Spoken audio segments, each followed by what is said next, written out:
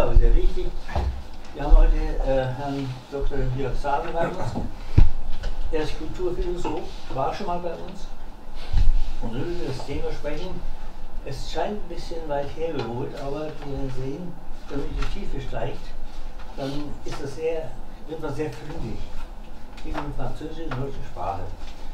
Die Personen, die auftreten, sind also der, äh, der Jünger, Ernst Jünger, allen noch bekannt. Und wenn er nicht bekannt ist, ein gewisser Plath, das war sein Lektor und Übersetzer. Darf man auch sagen, dass er Lektor war. Würde ich so ohne weiteres nicht sagen. Ich habe es mal gesagt. Ja, Mit also- Einschränkungen, ja. Mit Einschränkung, ja. Und, und die haben also 40 Jahre lang zusammen kooperiert. Nach 40 Jahren brach die Freundschaft und wir wissen bis heute nicht genau, was eigentlich passiert ist. Aber Dr. Sahler wird uns sicher einiges erzählen.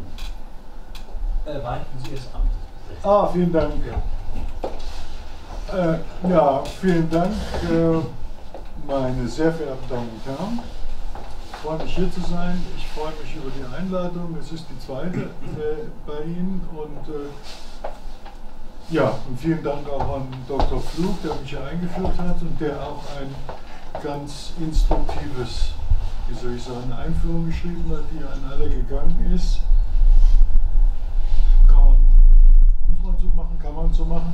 Ich wollte, bevor ich richtig einsteige, nochmal ganz kurz ein paar allgemeine Dinge zu Jünger sagen. Jünger ist sozusagen gleichbedeutend mit Polarisierung. Er ist erstens 103 Jahre alt geworden, von 1895 bis 1998. Er hat über 80 Jahre Autorschaft, wenn man so will, über 80 Jahre lang geschrieben. Äh, dann muss man die Qualität dessen, was er geschrieben hat, das ist hier jetzt nochmal nicht berücksichtigt. Äh, er hat einen Bruder, der nicht ganz so bedeutend gewesen ist wie er, der Friedrich Georg, aber der auch sehr interessante Sachen geschrieben hat, unter anderem auch ein Buch, das Jünger selber, also Hans Jünger, sehr geschätzt hat, das ist die Perfektion der Technik. Beide haben sich mit Technikkritik auseinandergesetzt. Der Jünger hat ähm, irgendwann ein paar Jahre vor seinem Tod seinen ganzen Nachlass dem Literaturarchiv Marbach vermacht für ein nicht ganz unbedeutendes Geld. Und äh, seitdem kann man dort auch unter anderem, also die Manuskripte sowieso einsehen, die es zu den meisten Texten von ihm noch gibt, aber vor allen Dingen auch die Briefe. Und das sind Berge. Das sind wirklich Berge.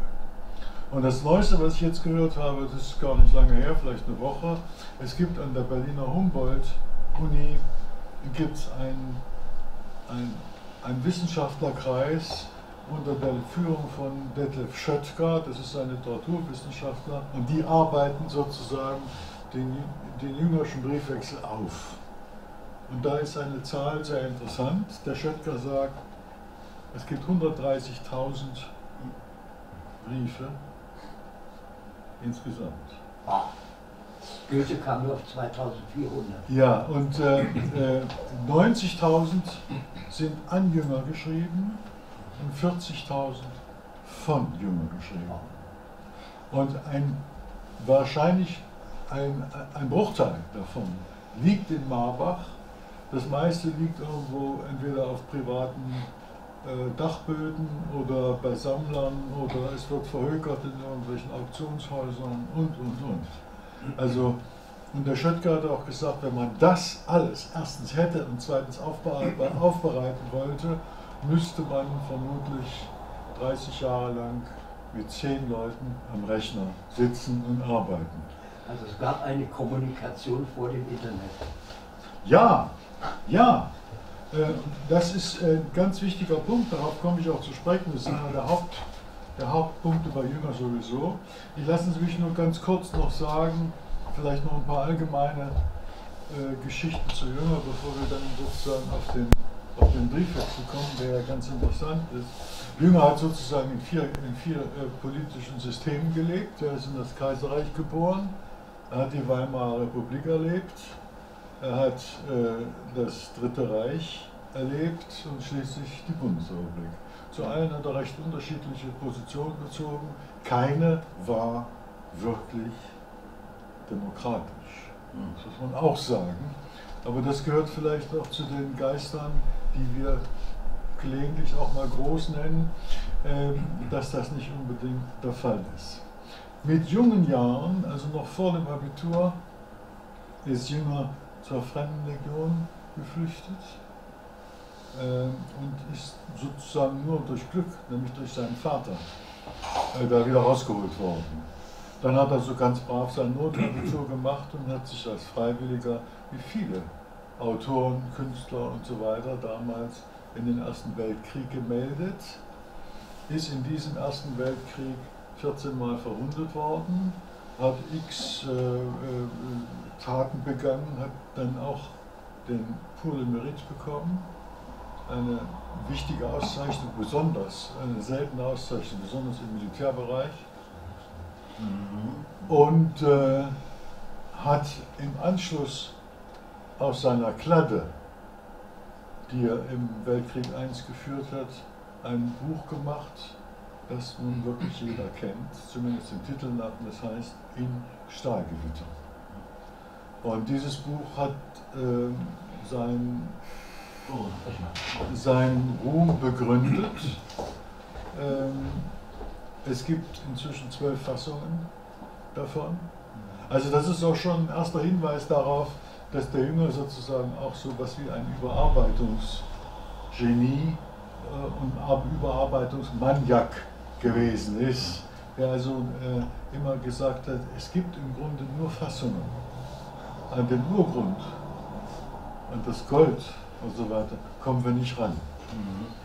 Inwieweit das aber dann auch ein bisschen sowas wie eine Ausrede ist, das äh, kann man vielleicht, nachdem man einige Texte von ihm kennt, äh, äh, besser beurteilen. Wie gesagt, 1920 erscheint in Stahlgewittern dieses, dieses Buch, das natürlich ganz gerne als, als Kriegsverherrlichung äh, dargestellt wird, wobei also auch die Franzosen, besonders wo Jünger eine große Rezeption erfahren hat, das Buch sehr geschätzt haben. André Gide hat gesagt, das ist das wichtigste Kriegsbuch, was es überhaupt gibt. Jünger hat dann, und im Übrigen jetzt gibt es eine äh, im Verlag Klett Cotta, das ist der Jünger Verlag, gibt es eine Ausgabe des, der Stahlgewitter, wo sämtliche Fassungen ineinander gedruckt sind. Äh, von, von Helmut Kiesel herausgegeben. Das ist sozusagen einer der ganz großen, neuen und sehr schnellen Jünger-Adepten, die man sich nur vorstellen kann. Der macht alles, was mit Jünger zusammenhängt. Und man fragt sich auch gelegentlich, ob er es nicht vielleicht ein bisschen verharmlost, aber das Geschichte. Jünger schreibt dann noch in der Weimarer Republik das abenteuerliche Herz 1 und 2, also 29 und 39. Und er schreibt vor allen Dingen 1932 den Arbeiter.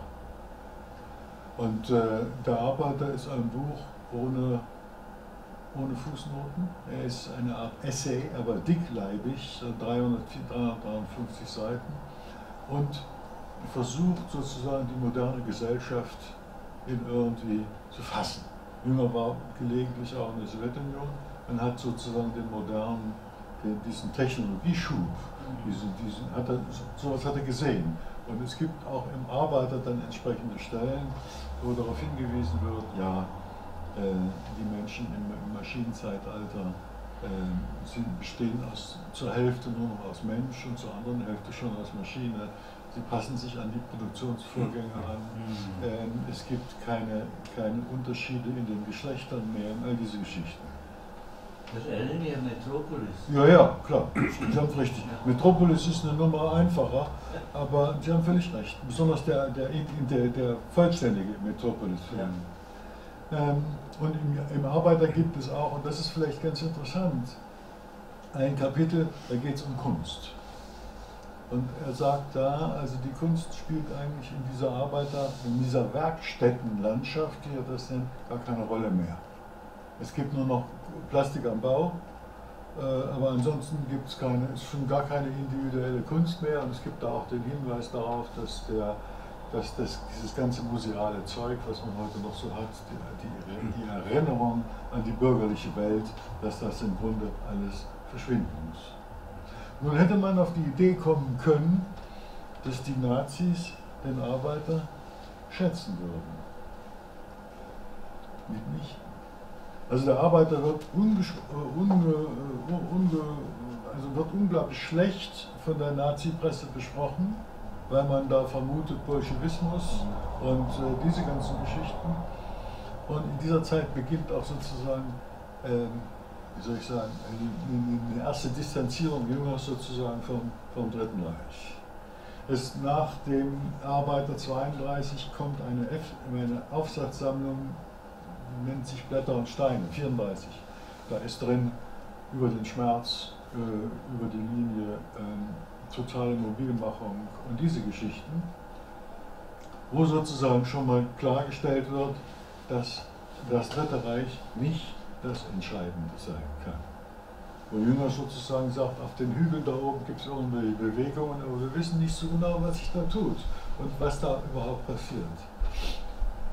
Und ähm, wie gesagt, fünf Jahre später, 39, erscheinen die Marmorklippen. Das ist ein, was soll man das nennen? Das ist eine Allegorie. Eine Allegorie, ja, es ist auf alle Fälle der Versuch, eine zwei Brüder, die sozusagen in Einklang mit der Natur und mit den Weisheiten, die man aus der Natur ziehen kann, irgendwo in einer idealisierten Landschaft leben, äh, aber bedroht sind von irgendwelchen Leuten, die man durchaus mit den Nazis in Verbindung bringen kann. Da ist von Oberförstern die Rede und Oberförster wurde ja in der Nazizeit einmal der Goebbels und dann auch mal der Hitler genannt, das ist nicht so ganz klar.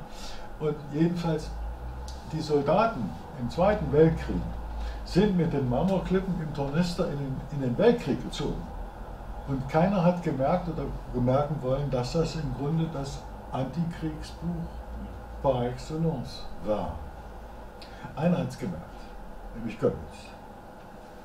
Goebbels hat äh, erstes Mal von dem ersten Buch der Tagebücher, nämlich Gärten und Strahlen, Gärten und äh, Straßen, verlangt, dass jemand streicht. Es gibt auch den Hinweis auf den 90. Psalm und für die Bibelfesten unter ihnen. Der 90. Psalm ist sozusagen, geht darum, dass die selbst ermächtigten Herrscher irgendwann äh, zu Tode kommen. Und das ist natürlich ein ganz klarer Hinweis auf die, auf die NS-Funktionäre. Jünger hat das nicht gemacht. Daraufhin ist Gärten und Straßen verboten worden, daraufhin ist Marmorklippen verboten worden, daraufhin ist der Nazi-Presse untersagt worden, Jüngers Geburtstag zu erwähnen und, und, und. Ähm, es gibt dann noch diese äh, Geschichte, dass Jünger im, im, in, in, Paris, im Zweiten Weltkrieg in Paris war und äh, dass sein Sohn Ernste äh, böse, böse Witze äh, über den, über den Führer gemacht hat, weshalb er sozusagen nur mit großem Glück strafversetzt wurde in irgendeine äh, Strafbataillon in, in den Süden von, von Italien und dort umgekommen ist. Also das hat Jünger sozusagen durch seine, durch seine Kontakte noch hingekriegt.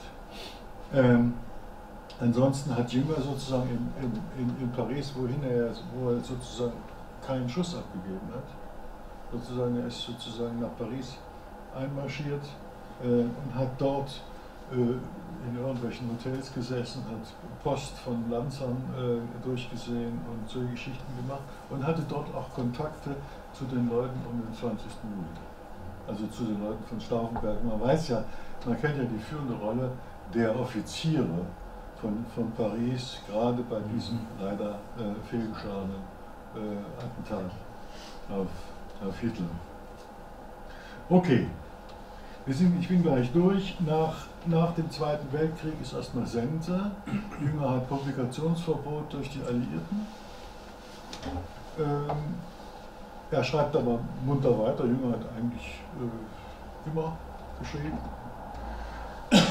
Und äh, es gibt dann sozusagen in der, in der frühen Bundesrepublik gibt es dann so natürlich erstmal eine absolute Welle Anti-Jünger also die Grünen vor allen Dingen, aber auch die Studentenbewegung, da gibt es also nur äh, ähm, Abwehr Es gibt aber zugleich in der DDR ein Lexikon, das den Jünger lobt. Das den Stilisten Jünger lobt, nicht die Inhalte, aber den Stilisten. Und schließlich gibt es dann äh, beim Klett Verlag, äh, der Jünger hat offensichtlich mit dem alten Klett in Stuttgart, waren die zusammen im Krieg oder irgend sowas war da, der macht zwei Gesamtausgaben. Die erste ist, glaube ich, schon in den 60ern und die zweite kommt dann ab Mitte der 70er Jahre und ist jetzt komplett mit irgendwie 24 Bänden. Beide, äh, beide Ausgaben äh, charakterisieren, dass sie beide unkritisch sind. Also äh, man weiß nicht, woher die Texte kommen, aus welcher Zeit sie kommen. Zum Beispiel vom Arbeiter wird eine Fassung abgedruckt, die äh, sehr viel jünger ist als 32 äh, und so weiter. Das ist alles irgendwie unklar. Das scheint aber den Jünger nicht weiter gestört zu haben. Und dann passiert trotz dieser vielen, vielen Anwürfe an Jünger, er ist ein Kriegsverherrlicher, er ist ein, ein, ein Edelnazi, der sozusagen dem die, die, die eigentlichen, die originellen Nazis zu, zu, zu zu banal, zu, zu plebshaft waren und der sich sozusagen an die, an die Nazi-Aristokratie gehalten hat. Das ist so ein Argument auch von Lukács im Grunde. Es gibt dann zwei berühmte Essays, einen äh, von Alfred Anders, die plötzlich den Jünger etwas anders sehen. Und es gibt vor allen Dingen ein Buch, das eine Rezeptionswende einleitet, nämlich die Ästhetik des Schreckens von Karl-Heinz Bohrer. Karl-Heinz Bohrer ist mal als Linker bei der FAZ gewesen, hatte das Feuilleton geleitet und ist rausgeflogen, weil er links war. Und ist dann nach England gegangen und hat dort äh, sozusagen sich habilitiert und kam nach Deutschland zurück und ging sofort eine, äh, als Professor an eine Uni, nämlich eine ziemlich gute, nämlich nach Bielefeld. Und hat seitdem geschrieben und geschrieben und geschrieben. Und diese Ästhetik des Schreckens hat sozusagen etwas bewirkt, nämlich hat zum ersten Mal den Jünger in Beziehung gesetzt zu anderen Texten der Weltliteratur, besonders den frühen Jünger, also Abenteuerliches Herz und diese Geschichte. Und da hat sich irgendwas getan. Und jetzt sind wir auch schon äh, da, wo ich jetzt im Grunde mit, mit äh, dem Thema der, der Briefe äh, äh weitermachen könnte. Ich bin irgendwann mal in Marbach gewesen und habe äh, Jünger Briefe gelesen, sehr viele gelesen. Ich habe, glaube ich, mindestens 50 oder 60 Briefwechsel gelesen. Wobei man sagen muss, es gibt Briefwechsel, die bestehen aus zwei Briefen hin und her. Aber es gibt eben auch Briefwechsel, die bestehen aus 400 oder 500 Briefen, wie eben zum Beispiel Plan. Und da muss man gucken. Und der Jünger, das haben Sie ja eben gesagt, ähm, diese diese Kommunikationsstrategie, die es damals schon ohne Internet und Handy und ohne Smartphone all das gab, bestand eben einfach darin, sich über Briefe sowas wie ein Netzwerk zu verschaffen. Und Jünger hat bei jedem Buch, was, er erschien, was erschienen ist, hat er allen möglichen Leuten das Buch geschickt mit einem Brief. Das ging zum Beispiel auch an Amito von Dodoran, die könnten nicht weiter auseinander sein als, als was weiß ich was. Ja. Hat er immer gemacht. Es gibt auch einen Briefwechsel mit Ben. Äh, ich weiß nicht mit wem alles. Und wie gesagt, in Marbach habe ich diesen Briefwechsel gelesen mit seinem Übersetzer Henri Plin und fand ihn ungemein spannend. Aus mehr, mehreren Gründen, weil, sie, weil mir schien, dass der Jünger da sozusagen seine, die Rolle des Arbeitgebers ähm, ziemlich ausspielt und zum anderen aber, dass der Briefwechsel unveröffentlicht ist. Und ich habe damals noch äh, der Witwe Jüngers, der Lieselotte, einen Brief geschrieben und habe gefragt, wie wäre es denn, darf ich, darf ich den Briefwechsel veröffentlichen mit allen Anmerkungen und kritischen Kommentaren und so weiter. Und das hat sie abgelehnt, weil sie sagte, es gäbe nicht genug Interesse. Ich glaube aber, dass sie es ablehnt wegen des Eklats, der irgendwann mal zwischen äh, dem Jünger und dem Klar stattgefunden hat, sozusagen in den 80er Jahren. Soweit bis dahin. Ähm, ich habe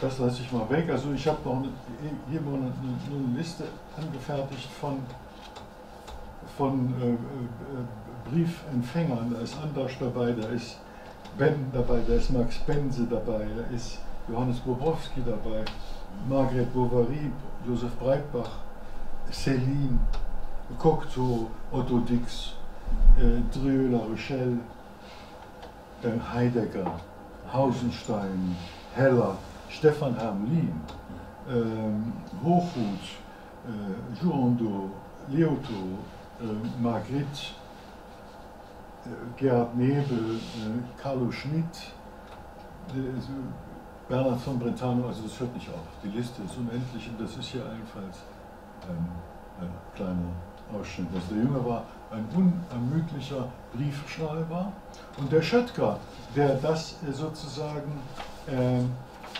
jetzt untersucht und sagt einfach, die Briefe, das sind sozusagen Jüngers drittes Werk. Also neben den erzählenden Schriften, die essayistischen Schriften, kommt jetzt also sozusagen als noch das dritte, nämlich die Briefe dazu. Und der sagt ganz klar, ähm, äh, zu Anfang hatte er bei den 90.000 Briefen, ein Jünger waren natürlich auch viele Briefe von Soldaten dabei, die den Ersten Weltkrieg erlebt haben und dann die reagiert haben auf das Stahlgewitter. Ähm, es gab aber eben auch ähm, Briefe mit, mit, seiner ersten Ehefrau, mit Greta zum Beispiel, das sind alleine 2000 Briefe. Und ähm, diese Netzwerke haben auch die Funktion, dass, dass sich die bestimmte Jünger bestimmte Dinge gemerkt hat, die er dann auch in Tagebücher eingebaut hat. Wobei man ja wirklich sagen muss, das Tagebuchwerk Jüngers ist aus meiner Sicht jedenfalls bedeutender als seine erzählenden Schriften. Also das Tagebuchwerk und die Essays halte ich für bedeutender als die, als die erzählenden Texte, wie zum Beispiel Marmorketten oder Eumeswil oder sowas. Gut. Soweit erstmal ein kleiner Vorspruch und äh, ich habe den Vortrag habe ich genannt, Ihren Briefen verdanke ich viel. Das ist ein Zitat von Ernst Jünger. Und äh, ich fange da mal an. Im Oktober, schreibt, im Oktober 52 schreibt Ernst Jünger an Henri Plat, ich gebe Ihnen plein pouvoir, doch die französische Teilausgabe der Strahlungen zu revidieren. Strahlungen, so wird das Tagebuchwerk aus dem Zweiten Weltkrieg genannt, die ein Jahr zuvor bei Julliard unter dem Titel Journal 1 41 bis 43 erschienen war. Jünger ist mit der Textbearbeitung durch Berlin, der Pariser Freundin, wenig zufrieden und setzt nun entschlossen auf den Übersetzer aus Brüssel. Er möge wie ein Richterverfahren bei Bedenken Sätze oder Abschnitte ändern, vor allem die Streichungen mildern oder vermehren. Hier kommt das, was der, was der Flug äh, den Lektor, die Lektorfunktion nennt. Das hat der Jünger ihm tatsächlich zugestanden. Aber ich glaube, er hat es auch gut kontrolliert. Ja. Zitat, Sie wissen ja, dass die politische Seite meiner Tagebücher in Frankreich zu starken Kontroversen geführt hat. Also das ist noch freundlich formuliert, äh, aber immerhin, die, der Widerhall, der freundliche Widerhall aus Frankreich war doch immerhin sehr stark. Henri Plat hat sich während der Arbeit an Heliopolis, das ist ein, ein äh, Zukunftsroman aus, aus, dem Ende des, äh, am Ende des äh, Zweiten Weltkriegs, bereits fasziniert zu Jüngers Sprache geäußert. Ich kann das jetzt mal übersetzen. Er schreibt nämlich, wie also äh, übermitteln in unsere analytische Sprache die Konzentration und zugleich die Klarheit der, der Substantive. Jedes Mal, wenn ich Heliopolis wieder zur Hand nehme, bewundere ich, dass sie äh, die Kraft hatten, äh, das alles äh, zusammenzubringen. Das schreibt klar 1950. Das Übersetzen sei für ihn, heißt es, 51 eine tiefe Erholung, Zitat, nicht leicht, im Gegenteil, aber man stößt dabei immer auf festen Boden. Es gibt irgendwo im Französischen ein Wort, einen Satzrhythmus, die ihrem Text entsprechen. Man muss raten, aber man ist dessen gewiss, dass es sich lohnt. Und so verbinden sie Spiel und Arbeit zu einer Art höherer Leichtigkeit im Schweren. Klar kommt der Bitte Jüngers nach, hat aber offensichtlich Anlass, den Kollegen Frederik de Towanitzki, Zitat, sämtliche Flüche auf den Hals zu hetzen. Der Text sei so, als hätte ihn Hans-Heinz Evers, äh, als hätte Hans-Heinz Evers Stendhal übersetzt. Zitat Ende. Vier Tage später, am 27. Februar 1953, signalisiert Jünger, nur Gutes über die Helios, Heliopolis-Übertragung gehört zu haben. Neues Zitat, man sollte überlegen, ob sie das Ganze, die Strahlungen, nicht in eigene Regie nehmen. Auf jeden Fall werde ich eine Übersetzung ablehnen, der sie nicht das Plazit erteilt haben. Wie schön wäre es, wenn wir noch lange zusammenarbeiten würden. Der Wunsch wird sich erfüllen. Als Jünger 1985 Pla versichert, nicht einer, sondern der Übersetzer zu sein, hatte der rastlose Germanist, Literaturwissenschaftler und Ordinarius aus Brüssel inzwischen 23 Bücher übertragen. Romane, Erzählungen, Tagebücher, Essays. Ein beeindruckendes Pensum, das Pla unter den französischen Übersetzern, es gibt mehr als 15 immerhin, 1930 ist das Betz, Henri Thomas, Towanitzki, François Poncet, Pierre Morel, Julien Hervier eindeutig den Löwenanteil an Jüngers französischem Werk sichert. Doch klar, der es zu den Glücksfällen rechnet, wie er nach Wilflingen schreibt, Zitat, ihr Zeitgenosse zu sein und an ihren Streifzügen durch die Welt des Geistes und der Zeit teilnehmen zu dürfen, auch als bescheidener Schüler, Zitat Ende, ist nicht nur ein stiller Arbeiter im Schaltgehäuse der Sprache. Mit jeder Zeile, die er seit 1949 überträgt, wächst seine Kenntnis des Werks. Er erklärt, ordnet ein und deutet bald, was er überträgt, in Vorträgen an Universitäten beiderseits des Rheins und einer Fülle von Essays, die zwischen 54 und 95 an prominenten Orten wie den Etudes Germaniques und dem Magasin Littéraire erscheinen. Darunter auch der Beitrag für das kritische Literaturlexikon Ernst Jünger von 82 und die Beiträge zum Text- und Kritikheft Nummer 105, 106, das Heinz Ludwig Arnold 1990 gegen den erklärten Wunsch Ernst Jüngers herausbringt. Doch während der engen Kooperation mit Pla, der während der engen Kooperation Plas mit Jünger entstandene, so umfangreiche wie lesenswerte, leider von der Forschung bisher wenig gewürdigte Briefwechsel ist bis zur Stunde lediglich im Deutschen Literaturarchiv Marbach zugänglich, wo man ihn allerdings zu den intensivsten und bedeutendsten rechnet. Zwei passionierte Briefschreiber, in der ungewöhnlichen Konstellation Autor, Übersetzer, die sich wieder erwarten, nicht auf die Erörterung übersetzungstechnischer oder editorischer Probleme beschränkt. Davon konnten sich bislang die Leser der späten Tagebücher 70 verweht und von Autor und Autorschaft ein, wenn auch vages Bild machen. Mit knapp 50 Notaten und Briefauszügen hat Jünger den Vielübersetzer aus Brüssel und seinen immer Zitat, immer erstaunlich komprimierten und stilistisch ausgezeichneten Briefen ein kleines Denkmal gesetzt. Zitat, man möchte nicht glauben, dass die Deutsche nicht seine Muttersprache ist, schreibt Jünger.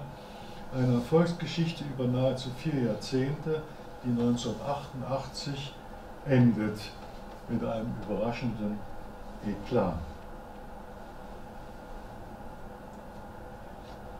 Ähm, äh, Jünger hat irgendwann in den Entretiens, den er, die er mit dem Julien Hervier geführt hat, das, äh, ein französischer Literaturwissenschaftler, auch darauf hingewiesen, dass der klar viel besser Deutsch gesprochen hat als viele seiner, seiner Landsleute und dass er exzellent ins, ins Französische übersetzt. Auch Karl, Karl Schmidt, mit dem er übrigens auch einen großen Briefwechsel hat, ähm, hat diese Übersetzungsarbeit unglaublich gelobt. Nach fünf Jahr, noch fünf Jahre zuvor betont Jünger das besondere Glück, das ihm mit den Übersetzern zuteil geworden sei. Zitat, dass Autor und Übersetzer Freunde werden, liegt auf der Hand. Ihre Begegnung führt zu einem geistigen Eros und Agon, zur Durchdringung der sprachlichen Darbietung. So kann ein neues Werk entstehen, an dem beide Partner beteiligt sind. Daher entdeckt sich der Autor in einer gelungenen Übersetzung in einer neuen Dimension. Zitat Ende. Jünger nennt bei dieser Gelegenheit Maurice Betz, den Rilke-Übersetzer, der 42 Gärten und Straßen für Plan überträgt, den Romancier Henri Thomas, dessen Marmorklippenübertragung der Baudelaires von Poe gleiche, vor allem jedoch Henri Plat, den lieben Freund, den Professor aus Brüssel, den Sédentaire, also den Niedergelassenen, und Homme du Cabinet. Seine Arbeit bleibe ein Opfer, abgesehen davon, dass sie oft kaum den Pfeifentabak einbringt, den er dabei verschmaucht. In frühen Stunden ist er mir ein Trost, wenn ein Geist von solcher Belesenheit und solchem Fingerspitzengefühl deinem Geschreibsel so viel Mühe widmet, ist vielleicht doch etwas dran. Das hat er im Postfestum geschrieben zur, zur zweiten Ausgabe. Ein Satz, der zumal nach der Lektüre der dickleibigen Briefkonvolute in Marbach stutzig machen könnte. Autorenpose, Understatement, gewiss. Der höflich zuvorkommende Briefschreiber ist der Jünger, dem Homme du Cabinet gegenübertritt, äußert auch gelegentlich Zweifel am eigenen Text. Was der vollendet freundliche Umgang indes nur unzureichend verbirgt, ist die Rolle des Arbeitgebers. Die Jünger ermutigt durch Plas Sympathie für sein Werk, für seine Loyalität und extrem hohe Belastbarkeit nur allzu gerne spielt. Nicht nur ist Jüngers Anteil an der Korrespondenz quantitativ betrachtet geringer, er neigt auch weniger zum farbig konkreten Detail, sondern kommt als Anwalt seines Werks in der Regel zügig zum Punkt.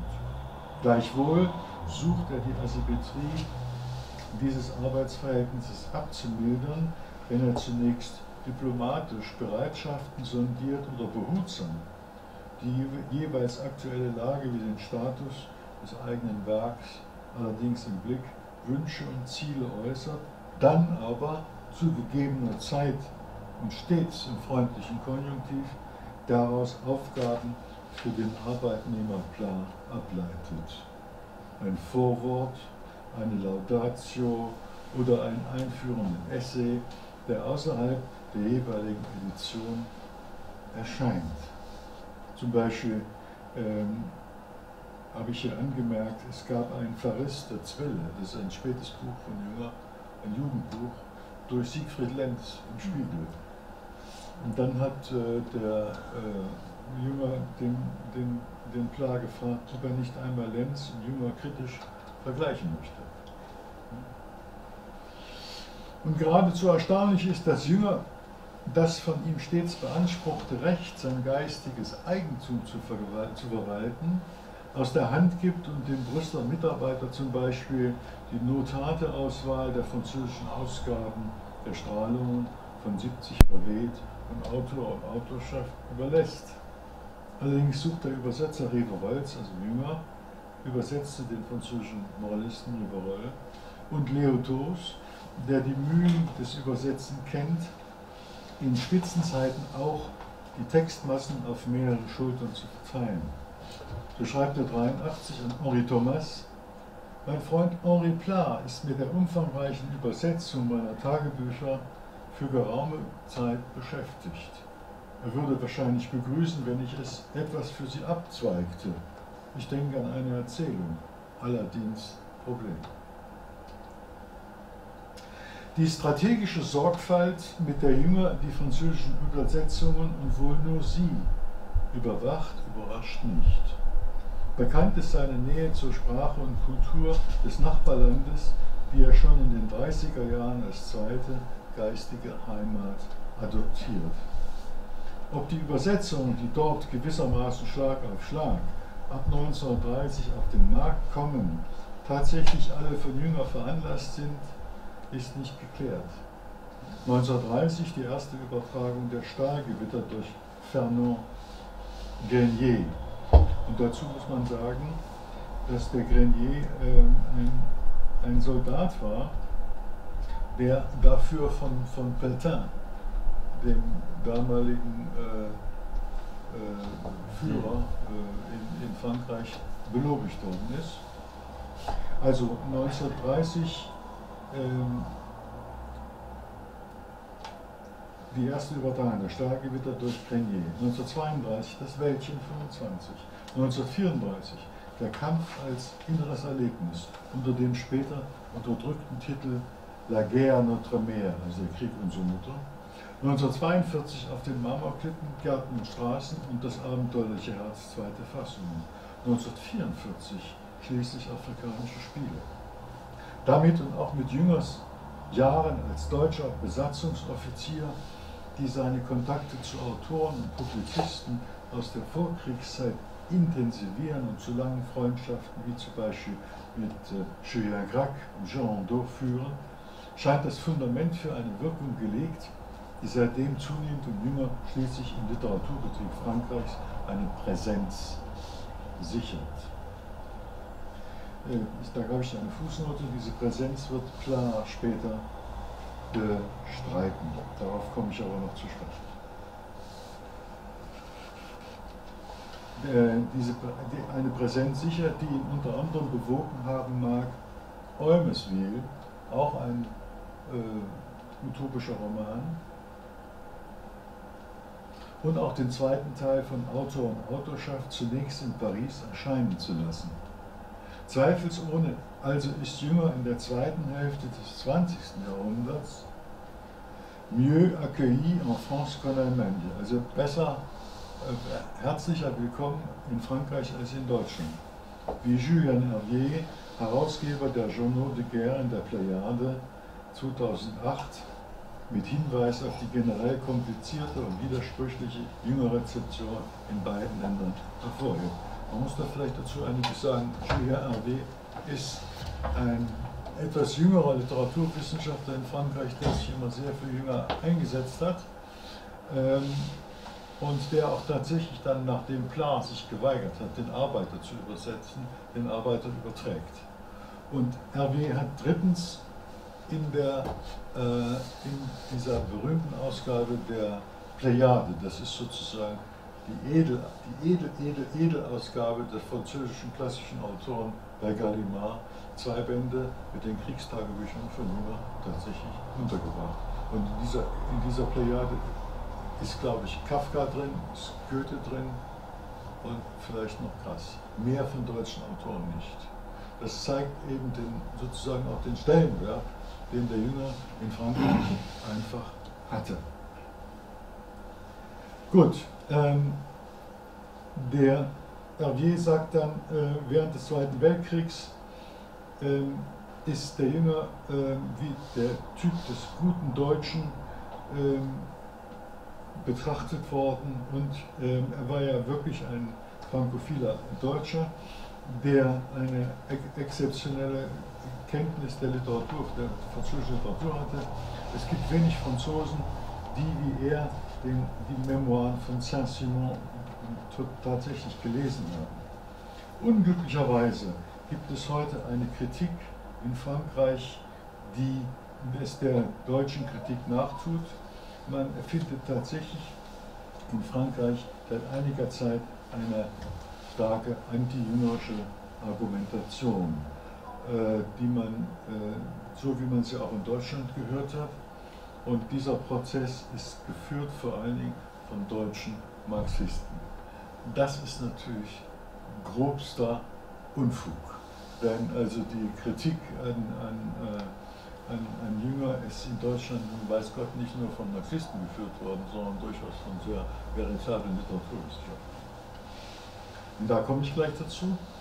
Allerdings haben in Deutschland auch Nicht-Marxisten, wie zu, zuletzt der Handke-Übersetzer Georges Arthur Goldschmidt, Jüngers Wirkung in Frankreich, mit den glättenden Übersetzungen erklären wollen, die, Zitat, nichts von der Mischung aus Brutalität und verlogener Betulichkeit der Sprache Jüngers sehen lassen würden.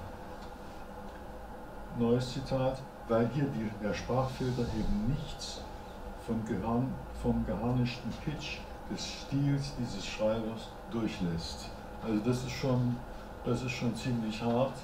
Und der, der Goldschmidt, der ähm, in Deutschland, ist ein französischer Jude, der in Deutschland versteckt worden ist während des Dritten Reichs. Ähm, und äh, ich glaube, ich weiß, wovon er spricht. Er spricht auch von dieser Plejade-Ausgabe, von dieser Plejade, äh, wo die Journal de Guerre, die Kriegstagebücher erscheinen. Dieser Plejaden-Ausgabe hafte ein Gran Pétainismus an. Also Pétain ist dieser faschistische französische Führer während der deutschen Okkupation. Und äh, sie sei, wenn auch unbewusst, eine regelrechte Rehabilitierung der deutschen Okkupation Frankreichs. Eine deutlichere Eloge der Kollaboration sei kaum vorstellbar. Georges Arthur Goldschmidt äh, sagt das in Alte Liebe. Äh, Ernst Jünger kommt verpackt in die edle Plejade nach Paris zurück. Also das ist, diese Stimmen hat es auch gegeben und der Goldschmidt stand wirklich nicht im Verdacht, ein Linker oder ein Marxist gewesen zu sein. Aufschlussreich, dass der professionelle Übersetzer Pla äh, diesen Punkt in seiner späteren summarischen Kritik an Jünger nicht aufnimmt. Auch in seinen Briefen widerspricht er nicht oder nur kaum Jünger, der die Risiken möglicher Bedeutungsverschiebungen bzw. Verfälschungen durchaus anspricht, wenn auch unter komplett anderen Vorzeichen. So folgt zum Beispiel ein häufig geäußerten Lob klarscher Arbeit wie Sie haben sich ja nicht nur an meinen Stil und dessen Oublietten gewöhnt, sondern Sie stellen für mich auch einen der Geister dar, an denen die deutsch-französische Verständigung bereits optimal gelungen ist. Ähm, ein Bild, so folgt äh, einem Lobplascher Arbeit ein Bild, das der, das eigentliche Problem ausblendet. Jünger Zitat, so weiß ich, dass ich unter ihrer Führung beim Übergang von der einen Sprache in die andere den geringsten Zoll zahle. Wozu Pla relativierend bemerkt, Zitat, dass ich vom Phänomen Jünger verzaubert bin, wissen Sie längst.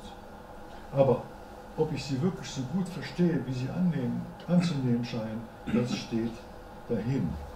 Das Vieldeutige muss vieldeutig sein und mit uns gutwilligen, aber nicht immer einsichtigen Auslegern ist es verwandt, wie mit den blinden Bettlern in der bekannten indischen Fabel, sagt er 58.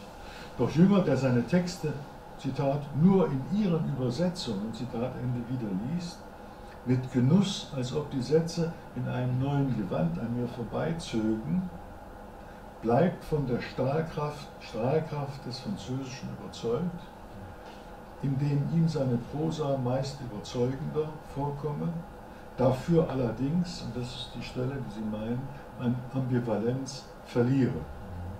Ich erkläre mir, sagt er, dass durch den rationaleren Charakter der französischen Sprache die Prosa wird gewissermaßen eingeleisig, eingeleisig gemacht Sie gewinnet durch das Herauspräparieren rationaler Elemente an Klarheit. Die umgekehrte Wirkung, schreibt Jünger, merke ich bei meiner Übertragung des Livarone. Und dazu gibt es natürlich auch noch den Hinweis auf äh, Goethes Lob der Faustübertragung durch Gérard de Nerval, die wirke frisch, neu und geistreich und er wolle sie nicht mehr eigentlich in Deutsch lesen. Das hat, jemand dann, das hat der Goethe dann mal seinem, seinem berühmten Eckermann erzählt. Ähm, okay, Daher verwundert Jüngers Überzeugung kaum, dass eine Übersetzung des Arbeiters die Grundgedanken vereinfachen werde. Zitat, das verstärkt einerseits deren Logik, verleiht ihnen andererseits einen aggressiven Element. 78. Noch in den 50er Jahren hatte Pla anlässlich einer von ihm betreuten Dissertation zur Überwindung des Nihilismus in ihrem Nachkriegswerk bedauert, den Arbeiter mangels auffindbarem Exemplar nicht gelesen zu haben. Zitat, so ist mir ihr altes Testament, so nennt Jünger den Arbeiter, bisher unbekannt geblieben, was mir leid tat, denn, denn sonst hatte ich alles von ihm gelesen und wusste, dass im Arbeiter der Schlüssel zu manchem liege. 53. 15 Jahre später, wieder ist die Arbeit einer Plarschülerin Anlass, beklagt Jünger die Aufmerksamkeit gelte, Zitat, nur jenen Teil meiner politischen Äußerungen, die mit der politischen Realität der 20er und 30er Jahre in Beziehung zu bringen sind. Das geschieht post festum und unter Aussparung oder völligem Missverständnis des Arbeiters. Dass ich mich nicht für Hitler zu entschuldigen habe, kann dabei noch kein, kam dabei noch kein in den Sinn. Das ist ein sehr interessanter Satz. In den folgenden Jahren drängt offenbar Christian Bourgois einer der maßgeblichen Verleger Jüngers in Paris auf die Übersetzung des Textes von 32, was Jünger lange zu verhindern sucht. Mit fadenscheinigen Argumenten, dass er beispielsweise sagt, dass äh, die, die, das Travail im, im, von Travailler im Französischen sich nicht auf, mit, mit der Arbeit zusammenbringen lasse, sondern mit Tortur und so ähnliche Geschichten. Das ist ein bisschen weiter hergeholt. Hm. Ähm, grob gesagt, sagt Jünger, bringt mir das eine Politisierung auf den Hals. Ich habe den Text nie wieder geprüft. Möglich ist, dass Zeitkritik besonders hinsichtlich des Bürgers eingeflossen ist. Sie hat mit der Sache wenig zu tun. Heute fehlt mir die Zeit zur Revision und zu Abstrichen, schreibt er im September 78 an Pla. Und neues Zitat, auf welches Wagnis ich mich in der Konzeption eingelassen hatte, konnte ich damals nicht voraussehen. Die antimarxistische Auslegung muss ich ablehnen. Marx passt in das System des Arbeiters, doch füllt er es nicht aus. Die Gestalt, das ist eine der zentralen Ideen von Jünger, die Gestalt repräsentiert den Weltgeist für eine bestimmte Epoche, und zwar beherrschend, unter anderem auch hinsichtlich der Ökonomie. Das Grundproblem ist die Macht, die bestimmt das Detail. Das bestätigt sich bereits heute überall, wo Arbeiterparteien regieren, von China über Russland bis zu den Ostdeutschen, haben Machtfragen den Vorrang vor den ökonomischen. Hinter der Repräsentation des Weltgeistes steht die Materie, nicht die Idee. Das ist sozusagen jetzt gegen Hegel gesagt. Die Theorie bestimmt nicht, wie Hegel oft und entschieden betont, die Wirklichkeit, sondern die Wirklichkeit gebiert Ideen und ändert sich aus sich selbst. Sogar die technische Erfindung folgt ihrem Zwang. Sie ist letztlich weder erdacht noch zufällig. Der Arbeiter ist ein Titan und somit damit Sohn der Erde. Er folgt, wie Nietzsche es ausdrückt, dem Sinn der Erde, und zwar auch dort, wo er sie zu zerstören scheint. Zitat Ende. Es ist anzunehmen, dass Jünger sich eine Übertragung durch Pla erhoffte, der indes überraschenderweise ablehnen und auch bei dieser Entscheidung bleiben wird. Er sei kein philosophischer Kopf und könnte es wohl erst nach der Bearbeitung der Strahlungen für Bourgois tun, also 82. Dieser Dissens ist nicht der einzige zwischen den Briefpartnern. Klar, der mit Sympathiebekundungen Jünger gegenüber nie spart. Sie sind ja von erstaunlicher und bewundernswerter geistiger Elastizität, für die ich eine Parallele bei Goethe suchen möchte. Er gab seine wohl schönsten Werke im Alter.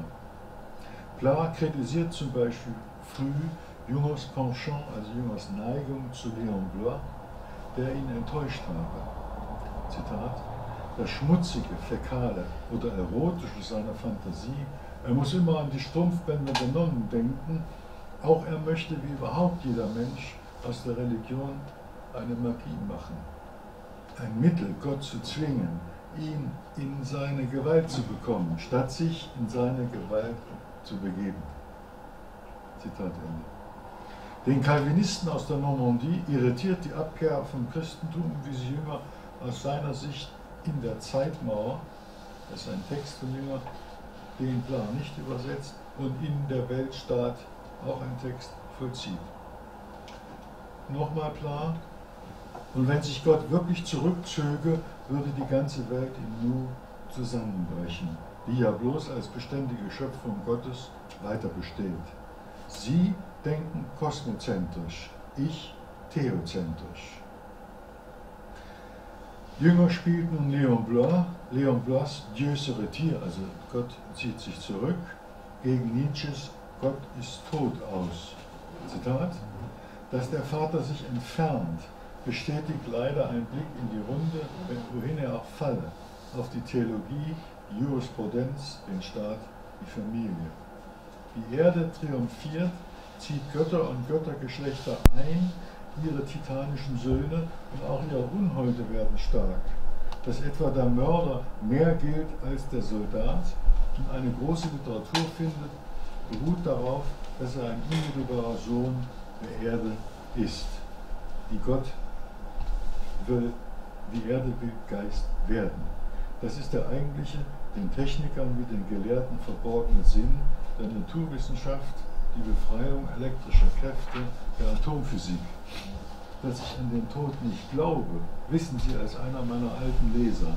Daher hat das Wort Gott ist tot für mich keine Realität. Aber seine Entfernung wird ununterbrochen zunehmen.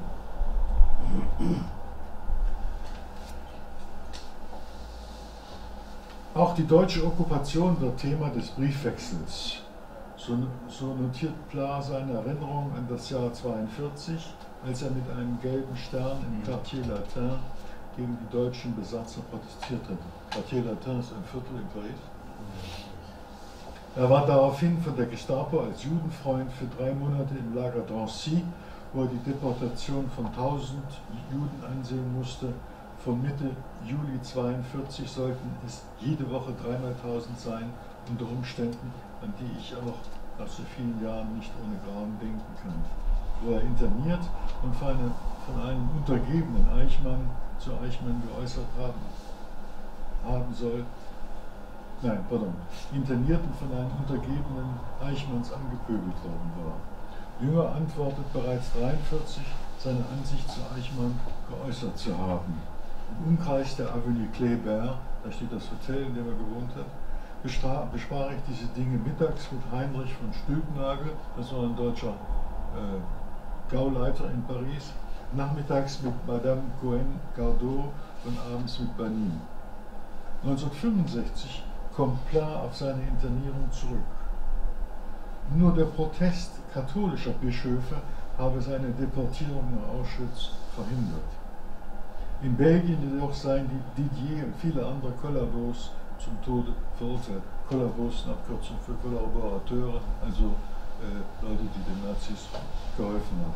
Im Grunde im Französischen eine Doppelbedeutung. Kollaborer, Kollaborer heißt einfach erstmal nur mitarbeiten. Aber unter den Nazis wurde daraus wirklich ein Schimpfwort. Jünger zeigt sich erstaunt über, Zitat, ihre Härte gegenüber den Kollabosen resümiert. Sowohl der Widerstand wie die Zusammenarbeit hat Licht- und Schattenseiten. Die Geschichte der Resistance schließt große Ermordungen ein.